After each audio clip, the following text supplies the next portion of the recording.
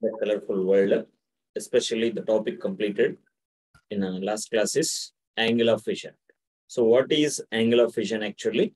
It is simply a maximum angle to see the whole object without changing the view. That means top and bottom of the object at a time. Top and bottom of the object at a time without changing the view. So here it is possible for the healthy eye is 60 degrees. If the angle is more than 60 degrees, that object height estimated is enlarged, but it is same height. By the eye, it can be viewed as enlarged. If it is smaller than 60 degrees, we can see that same object uh, is diminished, right? So this we observed uh, in the last class. In today's class, we are discussing about uh, structure of eye. So before going for the uh, structure of eye, what are the external parts of eye? So how do we see external view of the eye? So this is external view of the eye. Here, what are the parts we are able to see externally, right? So look at them. Here, the white color part we can see in our eye that is called as here sclera, right? Sclera is a white color part in our eyeball.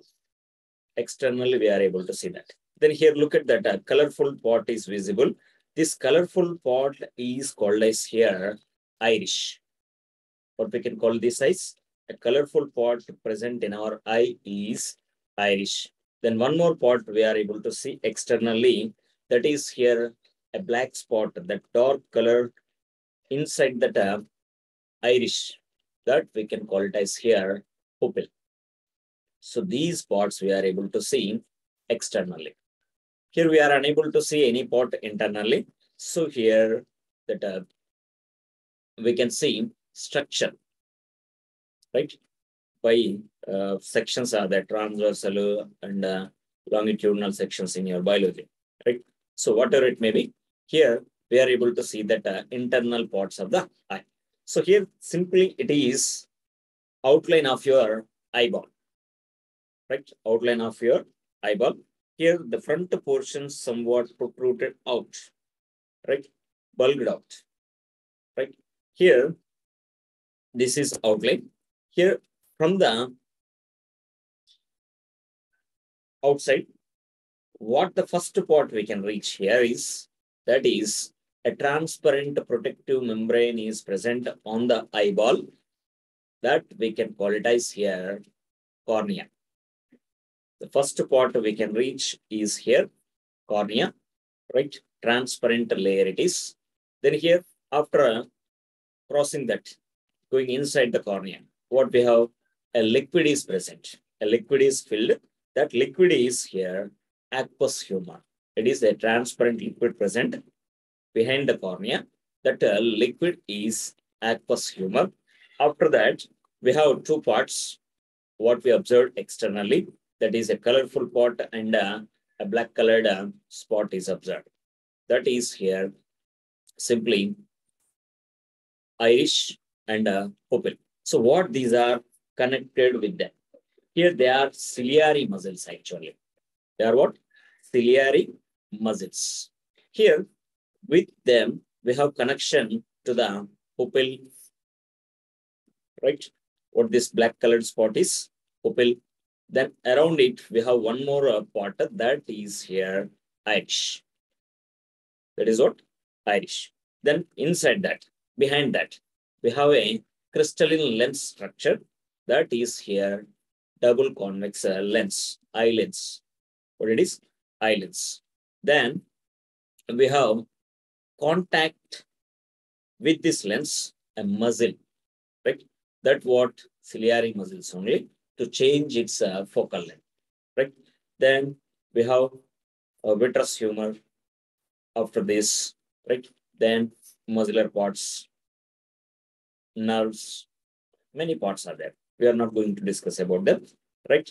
At end, we have one more part that we can call it as here screen, which can form the image, right? that image is formed by the lens on the screen that retina is acting like a screen. Here we have a distance between these retina to the lens, right? So retina to the lens or lens to the retina, this distance is fixed to anybody, right? That distance is 2.50 centimeters. Lens to the retina. Then here we have many number of nerves present in our uh, eye. So these nerves are called as here optic nerves. What they are called as here? Optic nerves. These optic nerves are connected to the screen, right? These optic nerves are connected to the screen. Here, these are called as here receptors. What these are called as here? Receptor that which are connected to the screen called retina. So here, these are of two types. Receptor of two types. What they are here? Depending on the shape, we can name them as here rods. Right? These are of in this shape. So that's why they are called as rods. Then one more is there in the shape of cone. So that is why here they are called as cones. We have importance for these uh, parts. Here, simply, aqueous humor is what? It is a transparent liquid. Transparent liquid. So light can be propagated through this. It can allow the light to propagate. Pupil, simply it is a hole. Cornea, a transparent protective membrane. It is a protective membrane, a layer present on our eyeball to protect from the dust and uh, other particles, water, everything, which will not be allowed inside, right? Completely, it will obstruct anything. Lens, double convex lens, right?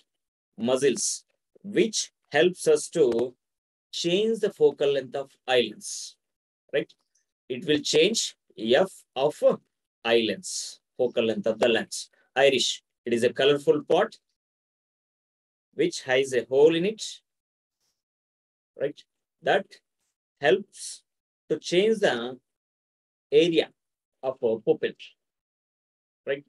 Then here, optic nerves, they can uh, transfer the signals to the brain.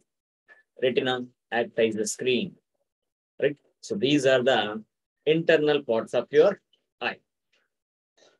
Have you seen them clearly? What the parts internally we have?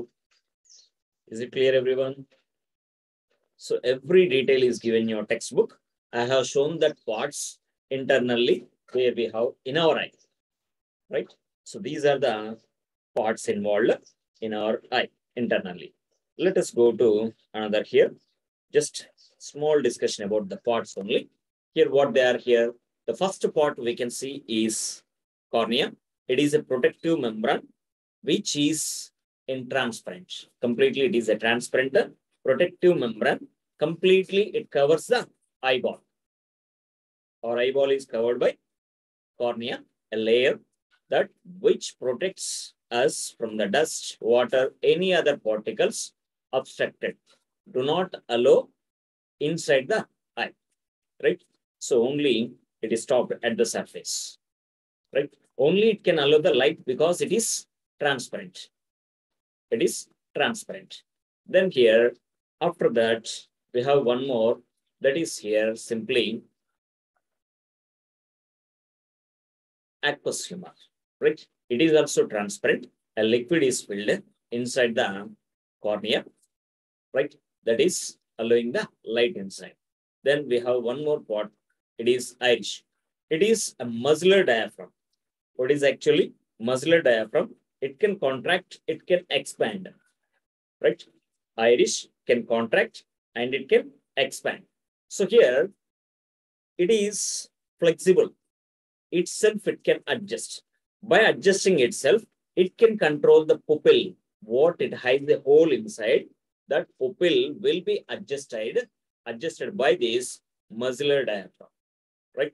To contract and to open, right? So here, simply it is around the pupil. Then here, what is pupil actually? Pupil appears uh, black completely in a iris. So here that pupil, because of no reflection, appearing as black in color. completely it can allow the light through that hole inside the eyeball. Do not reflect any light which falls on pupil. That is the reason to see the pupil in a black color, right? So here this pupil will be controlled by the muscular diaphragm called iris. That Iris enables the pupil to act like a variable aperture. Iris helps the pupil to act like a variable aperture, right? So here pupil is controlling the pupil is controlling the amount of light entering into your eyeball, right? On contracting, it can allow the minimum light, right? On expanding, it can allow the maximum light. That is the function of pupil here, right? The next here, it is acting like a variable aperture with the help of iris. The next we'll go for another part.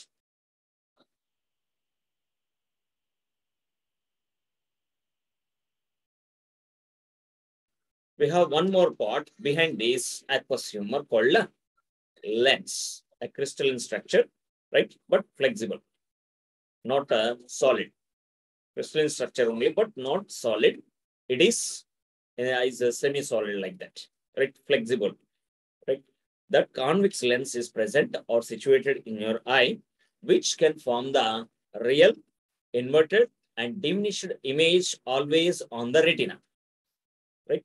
So here, the these are the characteristics. The image which is formed on the screen, screen is retina, right? That is situated at a distance 2.5 centimeters from the eye lens, which can capture the image on the screen as a real, inverted, and diminished. Then here that uh, are connected with optic nerves called as rods and cones. Rods identify the intensity of light. Cones identify the color of light. So with the help of these optic nerves, the brain can receive the electromagnetic waves that can be analyzed and again it is reversed. Right? Actually on the screen you are getting a real inverted diminished image, but your brain can analyze that information and uh, improves that. Right? Exactly reversing. Correct? what uh, that uh, shape or size is same as your original object. Then here ciliary muscles are able to change the focal length of eye lens by changing the shape of the lens. That means simply radius of curvature of the lens will be controlled by the ciliary muscles here. How they can control simply here, simply here, that radius of curvature will be increased or decreased by the ciliary muscles on contracting and uh, relaxed. When they relax, it can change the focal length to the maximum focal length is called 2.50 centimeters and the minimum focal length is adjusted by the ciliary muscles if they get strained. Right? So these are the internal parts and functions. Right? So here we have the focal length of eye lens varying between 2.50 to 2.27 or 2.27 to 2.50. So this is simply carried by ciliary muscles. This adjustment of the focal length from minimum to maximum or maximum to the minimum is called as accommodation of lens. Right? Accommodation carried by the ciliary muscles. If they are failed, called as defect because that uh, retina, which is acting like a screen, cannot capture the image at the same distance. That image will be shifted less than to 2.50 or above 2.50 because of failure of ciliary muscles. Right? They are called as accommodation defects. Let me let us discuss them detailed. But before going that, we have a small discussion about the understanding. Right here, what we understood. How can we get same image distance for various positions of object? in a uh, what a fourth lesson we learned what they are here about convex lens and uh, about concave lens. Right here, especially in our eye, we have double convex lens. Right. So here, according to the change in the position of the object in front of the eye, in front of the, sorry, lens, right? That can change the image distance, right? For example, here I am showing you the image. Here I am showing you the image at a particular dis distance for a particular position of a object. Suppose here it is the pole, here it is the focus, here it is its center of curvature. Right? If I place the object at a particular distance in front of the lens, right? Here, suppose let me take the object at a certain distance called here center of curvature. What is the image position? What are the characteristics? So here you will get the image for this position exactly at center of curvature. Real, inverted, and same size, right? If the object shifted to this position between P and F, having the same height, what will be the type of image here? The image will be formed by the convex lens is here it is virtual magnified image, right? Virtual magnified image. So here, according to the position, the image is formed at same distance by the lens. Always? No. Here, the image shifted to various positions or various uh, distances according to the object distance. Yes or no? Are you following? According to the object distance, image position always changing. It is not fixed. Image position always changing according to the position of the object. Then here the question is, why not the position of image not changing according to the position of object in front of your eye? Suppose if you observe the sky at very far distance is there. Then what are the characteristics? It is diminished on the screen. Okay. If the image, something object in front of you, suppose you are uh, observing the screen now in front of you at uh, uh, 30 centimeters, 40 centimeters, or maximum one meter distance from you. Then here in this case also you are getting or you are able to see that. You are able to see the object means simply the image is on the screen. Always how it can be formed the image on screen at 2.50 centimeters without changing image distance according to the object position Here for any distance, they are what?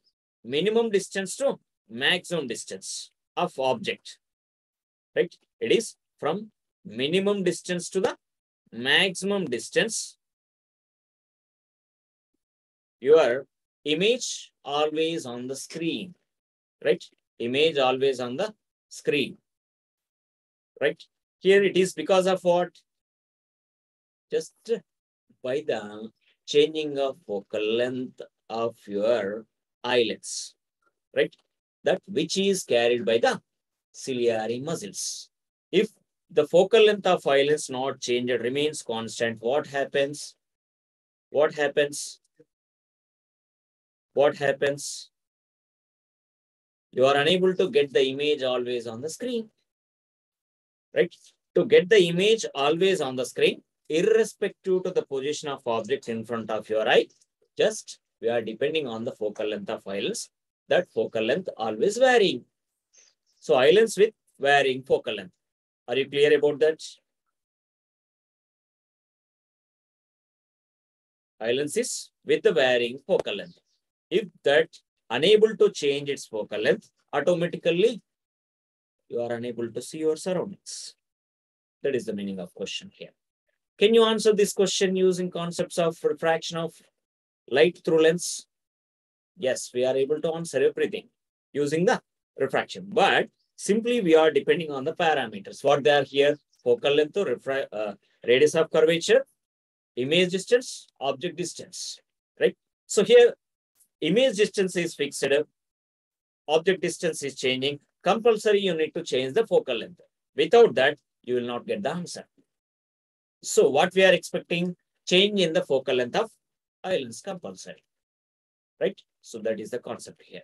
The next question is, how does eye lens change its focal length? Okay, we have concluded that eye lens focal length is changing. Who helps that for changing the focal length? That is here simply ciliary muscles, right? Ciliary muscles are connected to the eye lens. That ciliary muscles are contract, that means uh, taking strain and gets relaxed. Once they strained, it changes the focal length to the minimum. If they gets relaxed, they can change the focal length of eye lens to the maximum. Right? Here it is. Then, how does this changes takes place in our eyeball?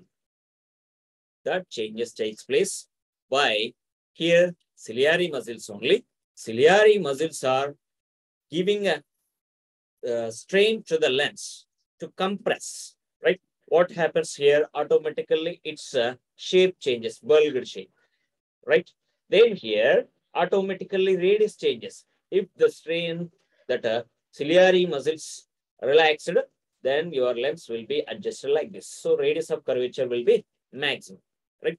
So relaxed and uh, contract, that means strained, then they can change the shape of lens here. Does eye lens form a real image or virtual image? Always we require real image because here if it is forms virtual image, where you can see, who can identify? Optical nerves are connected to the lens? No. Optical nerves are connected to the lens? No. Here only they are connected to the retina. They are uh, what gathering the information, eyes electromagnetic waves and transferring that transmitted through optical nerves to the brain.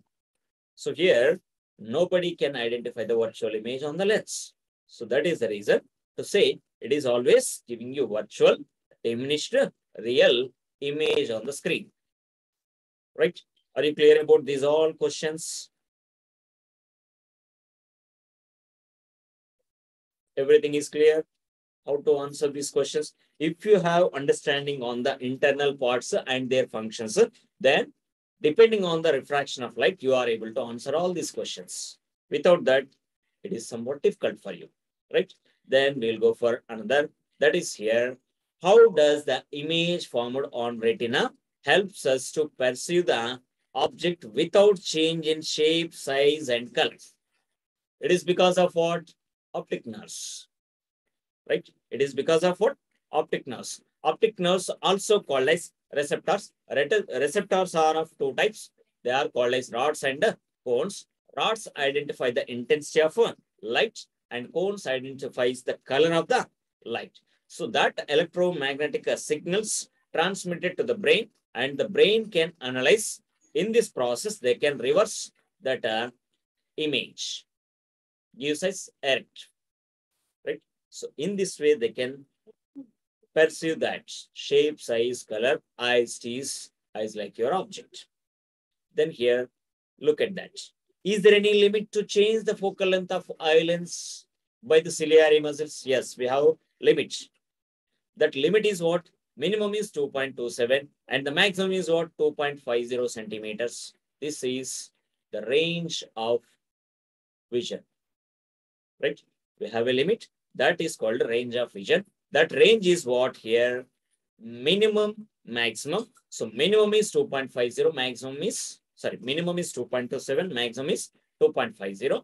This is called range of vision. So here, how do you find the maximum and minimum focal length of eye lens? It depends on the position of object in front of you. If the object is placed at a minimum distance, then the focal length will be adjusted by your ciliary muscles to the minimum, right? That minimum distance for a healthy human eye, eyes decide as least distance of distinct vision. So minimum distance to see the object clearly without any strain in front of our eye is called as least distance of distant vision. So in this case, if the object is placed at 25 centimeters, that eye lens focal length will be adjusted to the minimum focal length. If you see the sky, it is at infinity distance actually. So that stars are observed at infinity distance. In that case, that maximum focal length will be adjusted by the ciliary muscle C is equal to 2.50 centimeters. So like this, your eye lens focal length will be adjusted. So here to find out maximum focal length, object position is at infinity. To find out the minimum focal length, object position will be taken as least distance of distinct vision is about 25 centimeters. Are you clear about these questions given in your textbook? Every question answered by me. Every question answered by me. So now are you able to answer all these questions given in your textbook or not? Yes. So let us go to another topic here. So we got idea what minimum distance, maximum distance to see the object by a healthy human eye, right? What is the minimum focal length? What is the maximum focal length, right? Practically, we can find out. Don't remember them, 2.50, 2.27. We will find out practically, right? So how it will be? Let us see that, right? So here, simply, next topic is, what is the maximum focal length of human eye? Right? To find out maximum focal length, what will be the maximum distance to see the object clearly in front of human healthy human eye? Can anybody answer? What is the distance to maintain here for maximum focal length? When the maximum focal length will be adjusted by the ciliary muscles to see the object clearly. When you place the object at far distance or very near to you. Answer me, anyone. Far distance for distance. So what is the for distance here for a healthy human eye? It is maximum, infinite, right? So look at here. Okay, that healthy human eye is able to see the infinitely distant object. Where will be the image formed by the human eye lens? Eye lens can form the image at? Retina. Retina. 2.50 centimeters. Are you clear about that? నాకు కనబడుతుందంటే ఎక్కడ ఉన్నట్టు image on the retina is it clear remember that what ever it may be if you are able to see in front of you always for any position of the object the image will be on the retina at 2.50 centimeters. Got it clarity?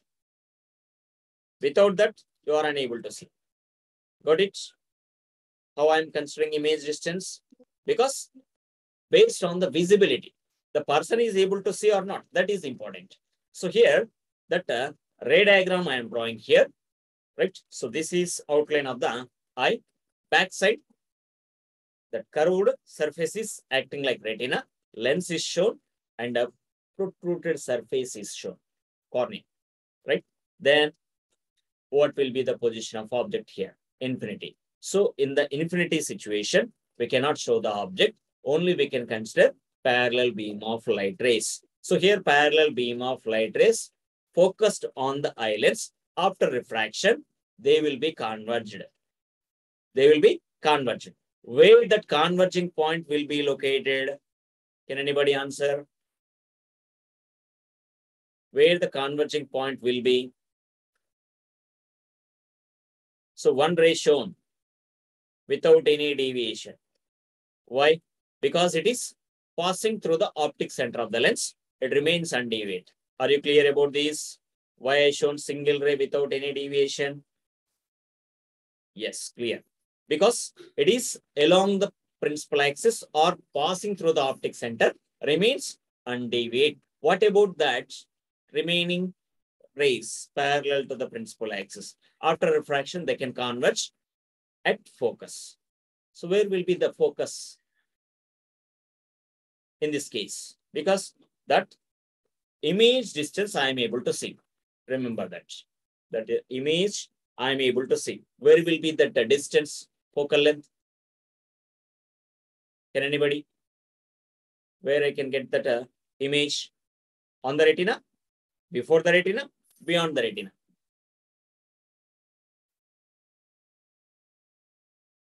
Converging point. The person is able to see. That means what? Image on the retina. So that converging light rays must be on the screen. If they are not on the screen, cannot see. We cannot see, right? So here, based on that knowledge, I got this diagram. This diagram drawn based on the visibility only. I'm able to see infinity distance. So I consider that if I'm able to see, the image will be on the retina. That is the reason to say converging point will lie on the screen. Is it clear? Everyone got it? Give me a response. Right. So based on that only, we will draw the ray diagram. Remember, visible means the image will be on the screen. The image will be on the screen. If not visible, the image shifted to inside the retina or outside the retina. That is. So keep it in your mind. So I got it. Based on that, what will be the object distance here? Image distance is 2.50. Object distance is infinity. So object distance is infinity because the object is placed at infinity distance and the image is obtained at 2.50 centimeters on the screen. So image distance will be considered here 2.50. Use the sign convention. Object distance always negative. For a real, real image, image distance is positive. So that's why I'm given u is equal to minus infinity, v equal to 2.50 centimeters. Then to find out the focal length of the lens, I placed the object at a infinity distance, maximum possible distance it is. So maximum focal length will be adjusted by the ciliary muscles in this case. So focal length of the lens is considered as maximum, F maximum. Then substitute in the lens formula. That is here 1 by F equal to 1 by V minus 1 by U. So this is the formula. Then substitute the values. What is F here? F equal to F maximum. Substitute. Okay, that equal to 1 by, what is V here? 2.50 with positive sign. 2.50 substituted minus 1 by U is equal to what? Minus infinity. Right? So minus into minus become plus. It will remain as 1 by infinity. We know what is 1 by infinity equal to. Can anybody? What is 1 by infinity equal to? What Sir, I zero. 0. So 1 by infinity equal to 0, I can write. That is because of 1 by infinity equal to 0, we know mathematically. So substituted and I got the term 1 by infinity equal to 0 in the relation. So what will, will be remains 1 by f maximum equal to 1 by 2.50. If you write reciprocal, what will get? I will get f maximum is equal to 2.50. I got it. So F maximum is what? 2.50 centimeters. So this is the maximum focal length adjusted by your ciliary muscles when you see the object at infinity. For the object at infinity distance, the maximum focal length adjusted by your ciliary muscles, right? Length, focal length, maximum adjusted by your ciliary muscles is about 2.50 centimeters. Got it? How I got 2.50? How I mentioned, right? Got it, everyone? No need to remember. If you depend on the observations, what you realizing practically in the nature, with that, I got the focal length of lens as 2.50 using fourth lesson knowledge. That's it. So here this will be adjusted by your ciliary muscles if you see the object which is placed at infinity distance. Are you clear about this maximum focal length of lens? Are there any questions? Immediately. Put a quick response. If nothing is there, we'll go for next topic. So everyone is clear about this finding maximum focal length, right? So I'm closing this meeting. Immediately join in the next meeting.